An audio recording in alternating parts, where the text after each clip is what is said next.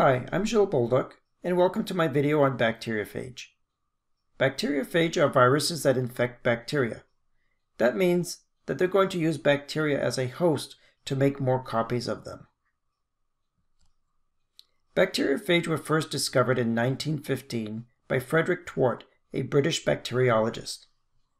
At the time, Twort was a superintendent of the Brown Animal Sanatory Institution which is a veterinary research center located in London, England.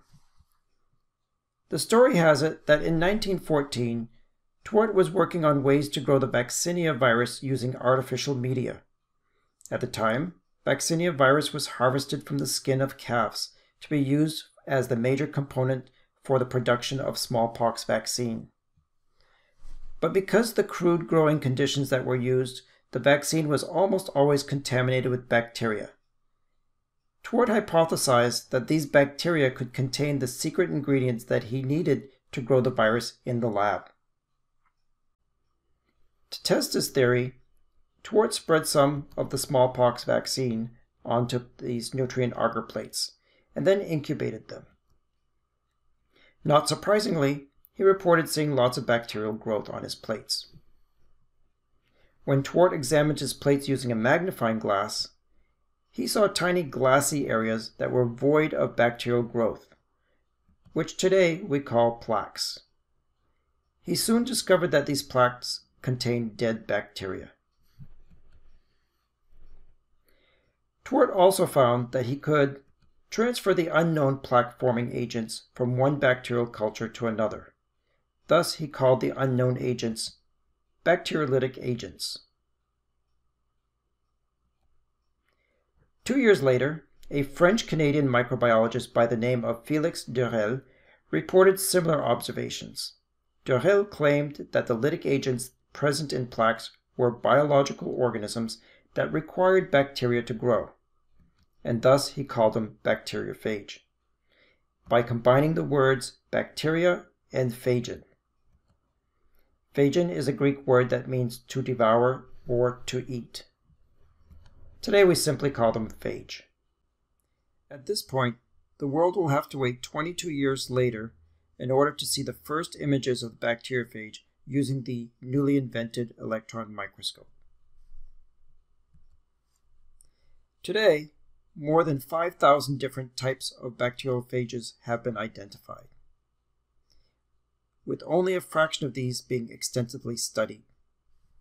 From what we know so far, these bacteriophage infect either a single bacterial host or a select few. So in either case, they are bacterial species specific, which is the basis for phage therapy, which is the subject of another video. All the bacteriophages are currently classified into 19 different families. Their genomes consist of either DNA or RNA, with the majority of them being DNA. In fact, only two of the 19 families have RNA genomes. The genomes are either double-stranded or single-stranded, and their capsids consist of icosahedral heads with or without tails, or they are filamentous. Five families are known to have members that have envelopes surrounding their nucleocapsids. So like other viruses, bacteriophage are very diverse in their morphology. The most studied bacteriophage are the T phages. These viruses infect Escherichia coli, and they have a double-stranded DNA genome that's packaged inside an icosahedron head. It has a tail section with six tail fibers, and they're non-enveloped. They're given the names T1 through T7. Based on what we know so far of the different bacteriophages, the virus must first make contact with the bacterial cell that has the right receptors on its surface. This is called the attachment step, and, is and decides whether the bacteriophage can infect the host or not. A free-moving virus will move randomly until their tail, tail fibers will come in contact and bind to the bacterial receptor. These receptors can be gram-negative or gram-positive cell wall components, a capsular polysaccharide, a pilus, or a flagella. Next, the virus will react by contracting its tail, pushing its tail pins through the bacterial cell membrane and injecting its DNA inside the cell like a syringe. This is called the entry step. Once inside the cytoplasm, the bacteriophage's DNA will immediately circularize upon itself and marks the beginning of the biosynthesis step. The viral genes are transcribed by the host's RNA polymerase, and the host's ribosomes will help translate this information to make bacteriophage capsid components. At the same time, the host's DNA polymerase uses the phage DNA as a template to make more copies of the phage genome. During this time, the host's resources, meaning its amino acids, nucleic acids, enzymes, energy, etc., are mainly used to make more bacteriophage components. These components are then self-assembled in what's known as the assembly step inside the cytoplasm. This process can generate anywhere between 50 to 200 new bacteriophage particles. And at one point, the bacterial cell becomes so weak that it will erupt, releasing the newly formed particles, and the cycle continues when these new particles attach to their next bacterial hosts. What I've just described to you is the lytic cycle of bacteriophage. Let's take a closer look at bacteria during the late biogenesis, biosynthesis and the early assembly stage.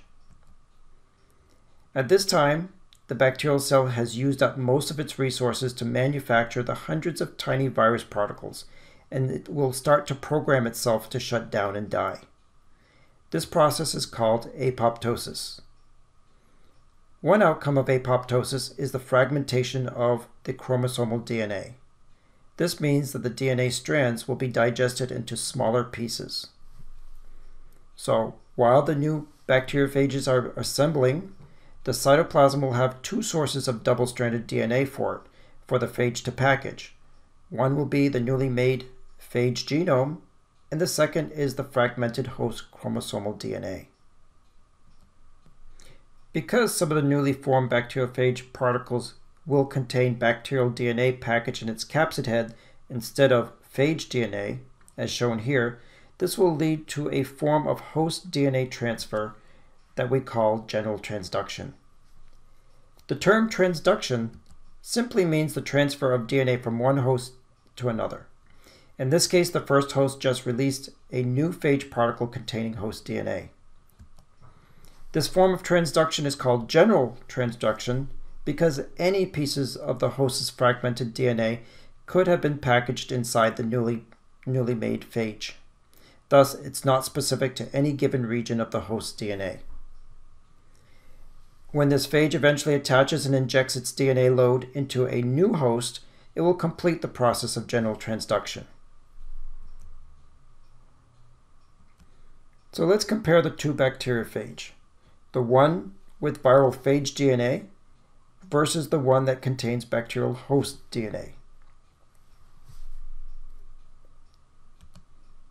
A virion is a virus that's capable of, of infecting a host cell. Both phages are infectious and therefore they are both virions.